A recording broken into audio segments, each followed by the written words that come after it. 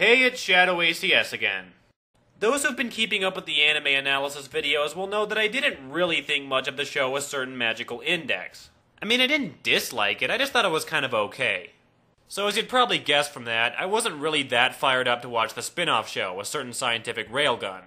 But once I heard the English version was coming out, I figured, what the hell, I might as well give it a review, and tried to keep an optimistic attitude going into it. So let's take a look at the results. I should probably point out that the second season of this anime is still currently being released, which I didn't actually know until after I started planning this review. So for now, just consider both seasons to be part of the same show. And if it turns out there's a drastic difference in quality between them, I'll probably do another video later. Anyway, a certain scientific railgun. This is one of the few spin off shows where the general opinion seems to be that it's actually better than the original. And I agree. While I don't think Railgun is by any means a masterpiece, I definitely liked it more than Index. It has fewer flaws, and the ones it does have are a bit less significant. Not to mention, it's got a kick ass opening theme. Now, during this review, I will try my best to treat this show as its own creation and not constantly compare it with Index. Because one of the better things about Railgun is how well it stands on its own. You don't even really need to watch the original to enjoy it. But either way, it is still a spin off show, so some comparisons with the original are pretty much inevitable. And I do think it is kind of important to go over both of them and explore why this one worked better. Well, in my opinion, anyway. So let's take a look at the premise. We once again return to Academy City, the technologically advanced setting of the first show, where the population is filled mostly with students who also happen to be espers. What are espers? Well, they're people who have psychic or telekinetic powers that are unique to each individual person. And good luck figuring out any more than that, because both shows do a really bad job of explaining this stuff. Our main character in this version is Mikoto Misaka, hands down the best character from the original. She's a bit of a celebrity in Academy City because she has one of the most powerful Esper abilities. Namely, she can fire huge electromagnetic pulses out of her hand. Railgun, the ability's called. The show, for the most part, doesn't really have much of a story. It mostly just focuses on the day to day lives of Misaka and her friends, taking a very slice of life like approach, except in a supernatural sci fi setting. And honestly, I think it's pretty cool to see a slice of life anime done in a supernatural world. It doesn't need a big epic adventure to carry the story along, although there are a couple of story arcs where that definitely happens. But just seeing these characters interact within this environment is enough to keep it interesting. But the downside is that it has the same problem as Index in that the world itself is not explained very well.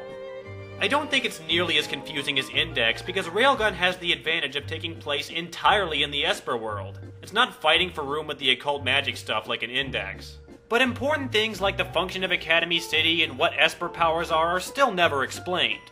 Or rather, they kind of are, but it's extremely vague. I think the closest thing resembling an explanation we get is this scene here. The city itself is like a giant experiment standing at the very forefront of the scientific community. Can you tell me what all the students are here to study? Okay, you're halfway there, anime. Now, the obvious follow up questions to ask would be A, what the hell are Esper powers, and B, why is it important to study them? Well, guess what? They never tell us. I don't get why this franchise has such a beef with explaining basic shit like this. I mean, you'd think this would be like the first thing they'd want to put in. Like with the original Full Metal Alchemist, literally the first scene in the show includes a narration that tells us what alchemy is. And we even get a demonstration a couple scenes later when Al fixes a guy's broken radio. Can you imagine how confusing this show would have been if they didn't include these two scenes? You'd be totally lost, constantly asking yourself, why are these people drawing magic circles on the ground? What's this alchemy thing they keep talking about? But that's more how I felt during Index. In Railgun, it's not nearly as big a problem because the show isn't about the powers or even really the story. The focus is kept on the characters and the friendship they all share, and you don't need expositions to be able to relate to that. The ultimate irony of it all is that scenes like this How can I pass up that chocolata? Is it really that difficult of a decision to make? are actually more interesting than the big epic story that Index was trying to tell, because you can understand and relate to what's going on. I also like the characters in this show. I mean, it's not a phenomenal cast or anything, but they're all likable enough. And the friendship between the girls feels really genuine, and in my opinion, it's where the heart of the anime is. Like with Index, I'm gonna have to go with Misaka as my favorite character, which is especially a point in this show's favor because she's actually the main character this time.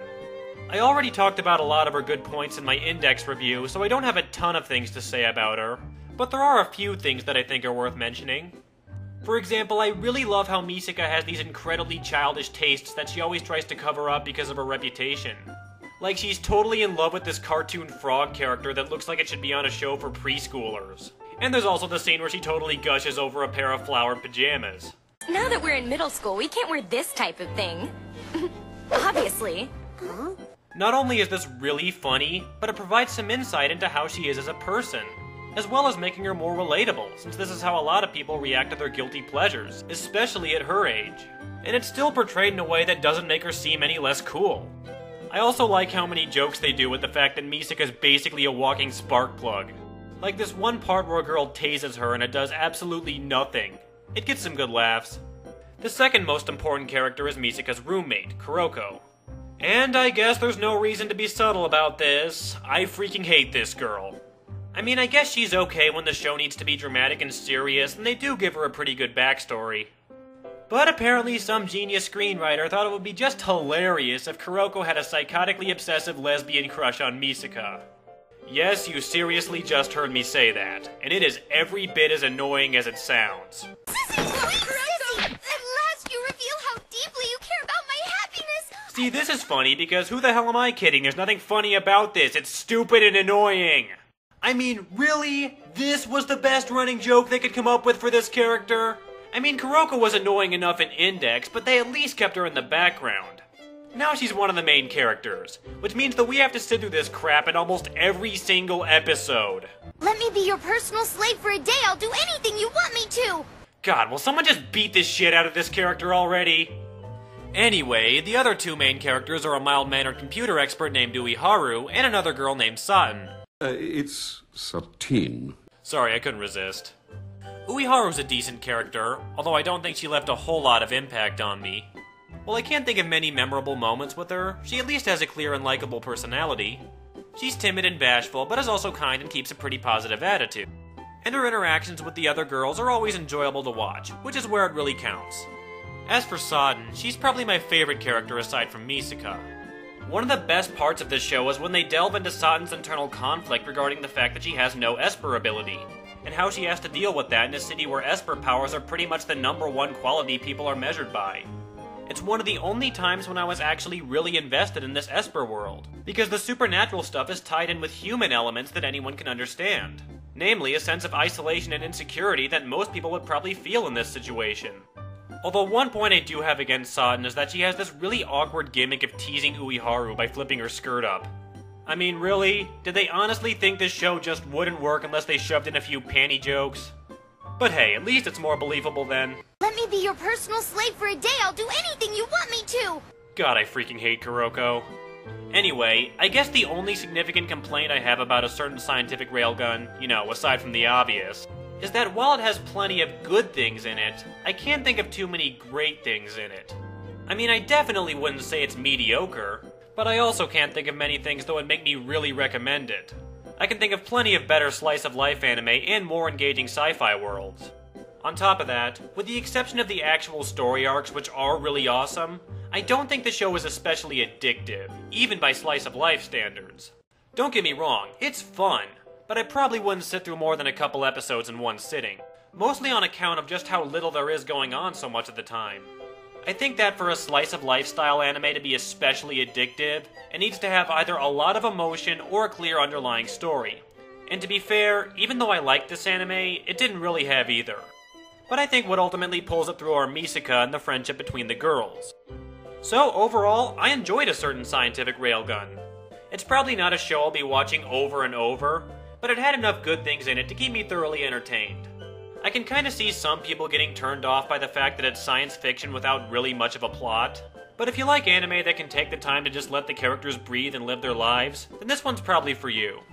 So if you are pissed off that I didn't think Index was an unbelievable anime, then you can at least take some comfort in the fact that I did enjoy the spin off. This is Shadow ACS, and I'll see you next time.